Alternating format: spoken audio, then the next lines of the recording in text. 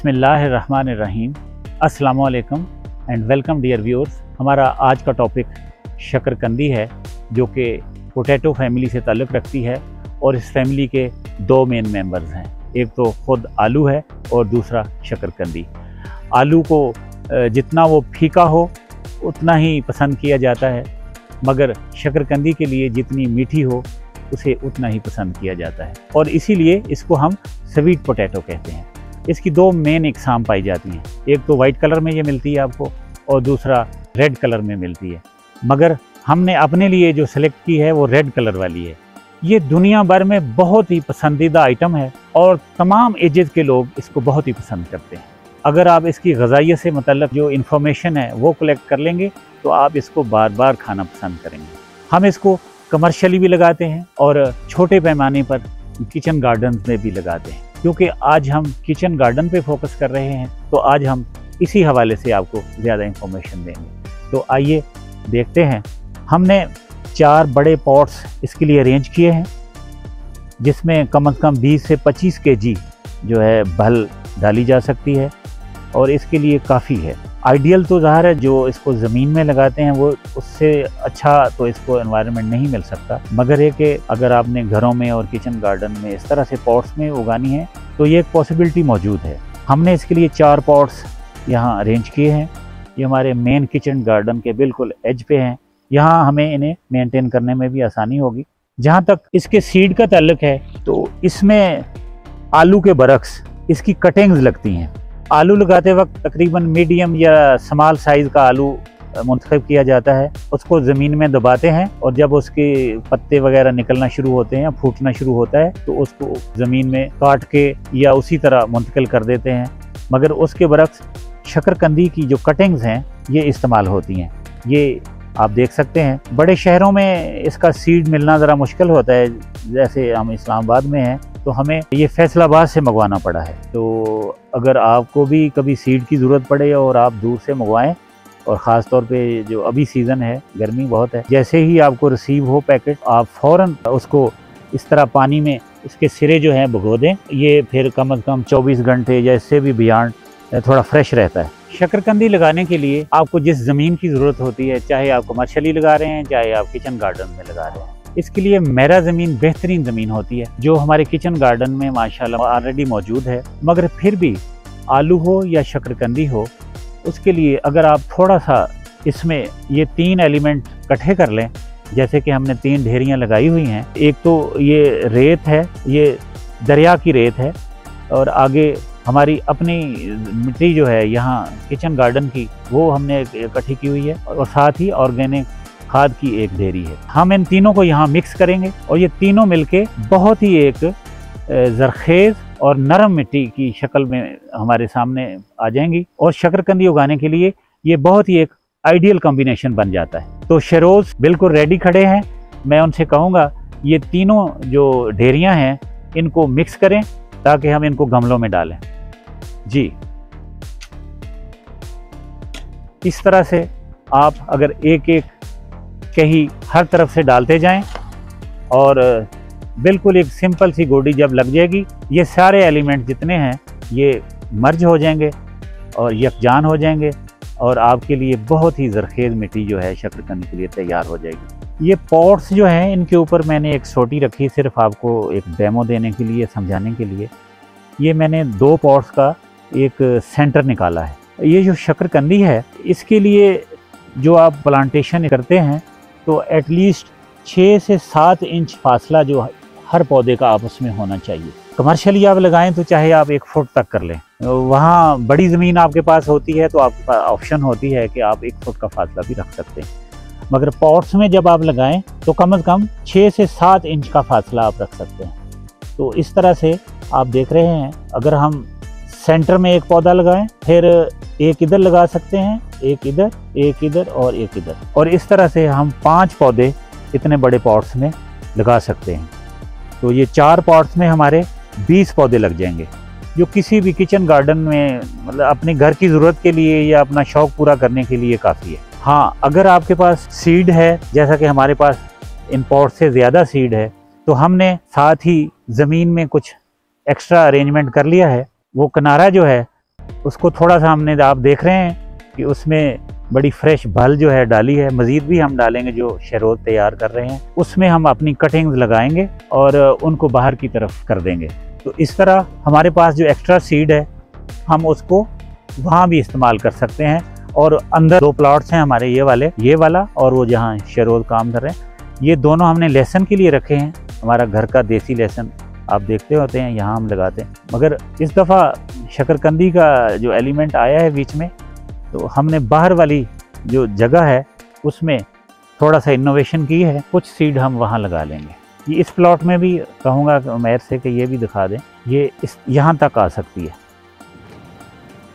इस दौरान शेरोज़ ने बहुत ही जरखेज़ मिट्टी इसके लिए तैयार कर ली है आलमोस्ट जितनी भल हमें पॉट्स में चाहिए, वो हम पॉट्स में डाल लेंगे। बाकी जो भल है, वो हम इन किनारों के साथ भी इस्तेमाल करेंगे, जहाँ हमने पौधे लगाने हैं। और जो इससे भी हमारे पास कुछ बढ़ जाएगी तो हम इन्हीं प्लाट्स में इसको यूज़ कर लेंगे। अब हम शकरकंदी की जो अपनी कटिंग्स हैं, जो हमारा सीड है, इसको पानी से अलग कर लेंगे। और शहरों से मैं कहूँगा कि यही टब जो है, ये वो ले लें। और भल ला के गमलों में डालना शुरू करें। ये आप देख रहे हैं कि सीड हमारे पास, अल्हम्दुलिल्लाह, बहुत फ्रेश मौजूद है। पानी में रखने की वजह से इसकी फ्रेशनेस और भी बेहतर हो गई। इसी के साथ शरोज ने पॉट्स को भल से भरना शुरू कर दिया है। जी, डालें। ये पहला पॉट है हमारा। शाबाश। इसमें ये जो निशान दिया गया है, ये बेमकसद नहीं है। इसका मतलब ये है कि आपने यहाँ तक भल डालनी है और उसके बाद इसमें सील लगाना है। और ये जो स्पेस है जितने भी ये बनती है, ये आपको जब आप पानी देंगे तो इतनी स्पेस आपको पॉट में चाहिए होती है। अदरवाइज़ आपका पानी बाहर गिरेगा। इस तरह से ये हमारा कोने वाला जो पॉट है, ये सीड लगाने के लिए बिल्कुल रेडी है। जितनी रिक्वायर्ड भल इसमें हमने डालनी थी, वो हम डाल चुके हैं। बिल्कुल इससे ऊपर नहीं डालनी हमने और ये इसकी मकदार पूरी हो चुकी है। अब खाली हमने इसमें सीड लगाना है। जब तक शरोज़ तमाम पॉट्स को भर रहे हैं, उसमें भल डाल रहे हैं तो हम आपको इधर अंगेज करते हैं। ये बहुत ही वैल्यूएबल इंफॉर्मेशन है। आप देख रहे हैं कि यहाँ जो कटिंग्स हमें रिसीव हुई हैं, उनमें ये एक तीन तीन दो दो जोड़ है। हमने इसको ऐसे ही नहीं लगाना। हमने इसको यहाँ से काट लेना है। सिर्फ़ एक टैनी एक वक्त में आपने यूज़ करनी है। उसके लिए ज़रूरी है कि आप इसको यहाँ से काट दें।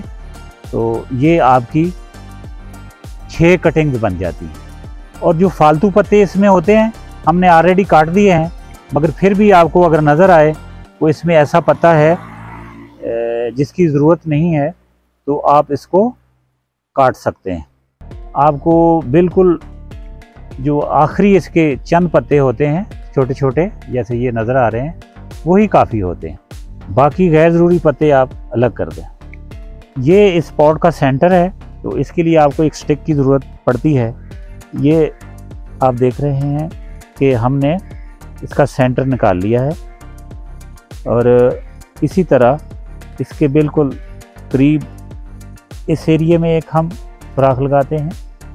एक इसके इस तरफ़ लगाते हैं, एक इस तरफ़ लगाते हैं और बिल्कुल सामने इस तरफ़ एक सुराख हम लगाते हैं। इससे ये तय हो गया, हमने स्पॉट में पाँच पौधे लगाने हैं। आप अपने पौधों को जितनी अच्छी गजाइत देंगे, वो उतनी ही जल्दी और उतने ही अच्छे ग्रो करेंगे। गो के हमने अब इसमें बहुत ही अच्छी जो मिट्टी है वो मिला के ऑर्गेनिक भी इसको सपोर्ट दे दी है। मगर फिर भी अगर आप चाहें तो डीएपी खाद थोड़ी सी, ये जो सुराख हमने स्टिक के साथ बनाए हैं, जहाँ ये सीड लगेगा, इसमें आप कुछ डीएपी इस तरह से अप्लाई कर सकते हैं। पौधे को पड़ते ही जितनी ज़रूरत खुराक की है वो मिल जाएगी तो वो बहुत अच्छे तरीके से ग्रो करेगा। कुछ डीएपी आप इस तरह से पूरे पॉट में भी फेंक सकते हैं जब आप पानी देंगे। ये पूरी मिट्टी में सॉल्व हो जाएगी और इसका असर सब पौधों को मिल जाएगा। अब यहाँ सीड लगाने का वक्त है। कोई एक्स्ट्रा चीज़ आपको आखिरी वक्त तक नज़र आए तो आप इस तरह से उसको काट के लग कर दें। आप देख रहे हैं कि हमारे पास इसकी ठीक ठाक लेंथ है और इसको दो तरह से लगाया जाता है। पॉट में तो हम इसको इस तरह से अमूदी लगाएँगे और जो स्टिक की मदद से हमने सुराख किया है, सबसे पहले हम सेंट्रल जो स्टॉक है, उसमें लगाएँगे। ये काफ़ी इसकी जो बडिंग्स हैं, वो नीचे चली गई हैं जहाँ से इसने फूटना है। चंद इंच आप इसको ऊपर से जो इसके पत्ते हैं, इतना सा आप अगर आप इसको बाहर रहने दें शरोज से मैं कहूँगा कि इसको मट्टी साथ जोड़ दें। अच्छी तरह दबा दें। बिस्मिल्लाहिर्रहमानिर्रहीम। ये आपका पहला पौधा जो है, पहला पहली जो आपकी कटिंग है, ये लग चुकी है। ये डिमॉन्स्ट्रेशन के लिए आपके लिए हमने अरेंज कर दिया। और इसी तरह सेकंड कटिंग लग गई। ये इसको भी मटी आप साथ कर दें। नेक्स्ट कटिंग मुझे दे दें। ये हम इसको ऐसे लगा लेंगे। नेक्स्ट कटिंग हमारे हाथ में है। उसको हम इधर लगा लेंगे। थोड़ा सा इसको स्टिक की मदद से हमें मज़ीद करना पड़ेगा। अभी हमने खाद डाली है ना, इसलिए थोड़ा सा सुराख फिल हुआ है। इस तरह से हमने इसको प्लांट करना है और नेक्स्ट मुझे दे दें। ये इस पॉट का पांचवा पौधा है और इस तरह से ये मिट्टी डाल दें इसको। इस पॉट के पाँच पौधे जो हैं, वो हम लगा चुके हैं। तो एक पॉट लगाने के बाद आपको अंदाज़ा हो गया होगा कि पॉट में आपने सीड कैसे लगाना है। जी पॉट के बाद अब हम ज़मीन की तरफ़ आते हैं, खुली ज़मीन की तरफ़। वैसे तो अगर शकरकंदी को आप खुली ज़मीन में लगाते हैं तो इसके लिए जैसे ये हमने मूलियाँ और गाजरें जहाँ काश्त की हुई हैं तो ये जो एरिया है, खेली के ऊपर का, बिल्कुल जो इसका टॉप है, यहाँ इसका सीड लगे तो शकरकंदी के लिए ये बहुत ही आइडियल है। लेकिन इस वक्त जो हमारे पास अवेलेबल लैंड ऑफ़ पीस है जो भी उसकी शक्ल है, हमने उसके मुताबिक चलना है। ये वो एरिया होगा जहाँ हम इसका पौधा लगाएँगे। तो शहरोज से मैं कहूँगा कि यहाँ थोड़ा सा अगर कहीं के साथ जगह बनाए और यहाँ कुछ भल ऐड कर दे जो हमने तैयार की है। भल हमारे पास मौजूद है, ताकि इन पौधों को भी ये फ्रेश भल जो है वो मैसर हो।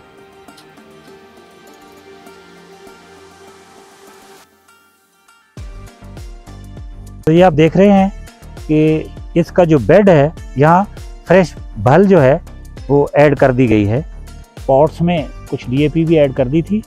इसी तरह हम इन बेड्स में भी कुछ डीएपी ऐड कर देते हैं। जितनी जरखेजी मिलेगी पौधों को, उतने ही अच्छे होंगे। जैसे हमने पॉट्स में आपको डेमो करके दिखाया, हम इसको यहाँ भी बेड्स में भी इस तरह भी लगा सकते हैं।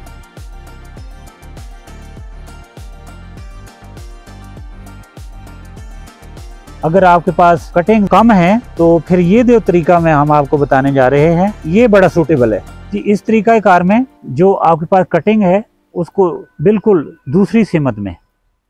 ये शरोज से मैं कहूँगा लगाएँ। इस तरह से। इसका ये सिरा जो है, ये ज़मीन से ऊपर होना चाहिए और ये सिरा है, ये भी ज़मीन से ऊपर होना चाहिए और सेंटर से इसको आप मिट्टी में दबा दें। इस तरह से आप देख रहे हैं ऑलमोस्ट छः से सात इंच एरिया सिंगल कटिंग ने कवर कर लिया है। और इसमें फूटने वाली जो इसकी आँखें होती हैं या बर्द होती हैं, वो काफ़ी हैं और ये अच्छा पौधा यहाँ से बन सकता है। कटिंग आपको खुद ही बता देती है कि मुझे कैसे लगाओ। ये कटिंग बिल्कुल नेचुरल बनी हुई है। इसको आप इस तरह ही लगा लें। ये सिरा थोड़ा सा इसका ऊपर रहने दें। इतनी अच्छी डालें। यहाँ से इसको दबा दें। ये जो कटिंग है, इसका साइज़ वो खुद ही बता रहा है। कि इसको हम अमूदी लगा सकते हैं। इसी तरह हमने आगे तक ये सारा सीड कवर कर देना। जब आप सारे बेड में कटिंग लगा चुके हैं तो उसके बाद इस तरह की फिनिशिंग जो है, वो बहुत ज़रूरी होती है।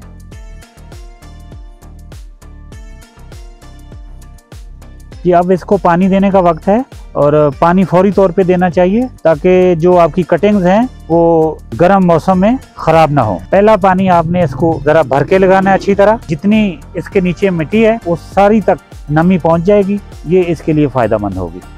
जब तक हम इसको इस तरह से शावर से पानी दे रहे हैं, मुनासब होगा कि इसके जो बेनिफिट्स हैं, जो फ़वाद हैं, इंसानी सेहत के लिए उसका भी ज़िक्र करते जाएँ। इसमें कोई दो दर्जन के करीब बड़े बड़े फ़ायदे हैं, मगर यहाँ सबका ज़िक्र करना मुनासिब नहीं है, ना इतना टाइम होता है, वीडियो लंबी हो जाती है। गजाइत के हवाले से अलग से वीडियो सोशल मीडिया पे मौजूद होती हैं, आप वो भी कंसल्ट कर सकते हैं। लेकिन मोटी मोटी बातें अगर आप फौरी तौर पे जानना चाहें, वो ये है कि शकरकंदी में बहुत ही अच्छे विटामिन विटामिन ए है विटामिन बी है विटामिन सी है ई भी है इसमें, और बहुत ही इसमें न्यूट्रिएंट्स हैं, और बहुत से इसमें प्रोटीन हैं। ये आपकी बॉडी की ग्रोथ के लिए बहुत ही फ़ायदेमंद है। इसकी इस्तेमाल पे है कि आप इसको किस तरह इस्तेमाल करते हैं। अगर आप इसको दिन में इस्तेमाल करें और खाने से पहले इस्तेमाल करें तो ये आपकी बॉडी को स्लिम करती है कोलेस्ट्रॉल कम करती है और वेट लॉस में मदद देती है। जिनकी बॉडी ज़रा स्लिम है, उनको वेट की ज़रूरत है ख़ास तौर पे बच्चों में, उनको आप शाम के वक्त भी खिला सकते हैं, खाने से पहले। उस सूरत में ये वेट लेने में मदद भी देती है। शकरकंदी में फाइबर बड़ी अच्छी मकदार में पाया जाता है, जो बहुत ही फ़ायदेमंद है इंसानी बॉडी के लिए। ये आपके मैदे के लिए बहुत ही फ़ायदेमंद है। इसी तरह अगर इसको सीनियर सिटीजन खाएँ तो ये उनके पट्ठों और जोड़ों के लिए बहुत ही हेल्पफुल है। अगर इसे यंग लेडीज़ खाएँ तो ये उनकी स्किन को प्रॉपर रखने में बहुत ही मददगार है। ये आपकी स्किन जो है ग्लो करती है और फ्रेश ब्लड आपको मिलता है इससे। बहुत अच्छा।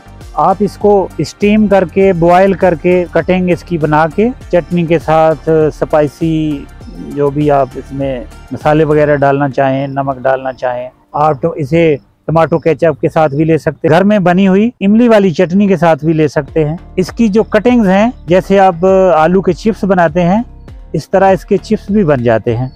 स्वीट पोटैटो यानी शकरकंदी जो है, ये आपकी याददाश्त के लिए भी बहुत ही कमाल की चीज़ है। आपके ब्रेन को भी बहुत सपोर्ट देती है और आपकी मेमोरी को भी शार्प करती है। इसमें जितनी गजाइत है जितने प्रोटीन हैं जितने विटामिन हैं उसी की बुनियाद पर जो सीनियर डॉक्टर्स हैं या, या सेब के सियाने हैं वो इसको सुपर फ़ूड डिक्लेयर करते हैं। जहाँ तक शकरकंदी की काश के वक्त का तल्लक है इसको अगस्त के आखिरी हफ़्ते से लेकर सितंबर के पहले हफ़्ते में लगाया जा सकता है। और ये तकरीबन 90 डेज़ की फ़सल है और तीन महीने में आपको बिल्कुल तैयार मिल जाती है। डियर व्यूअर्स शकरकंदी लगाने के हवाले से हमने बेहतरीन इन्फॉर्मेशन आपके लिए मुहैया कर दी है। उम्मीद है कि जब भी आप खुद शकरकंदी लगाने का शौक फरमाएँगे तो ये इन्फॉर्मेशन ये नॉलेज और ये डिमॉन्स्ट्रेशन आपके लिए बहुत ही फ़ायदा मंद साबित होगा। इसी के साथ हम आपसे इजाज़त चाहेंगे। अल्लाह निगेबान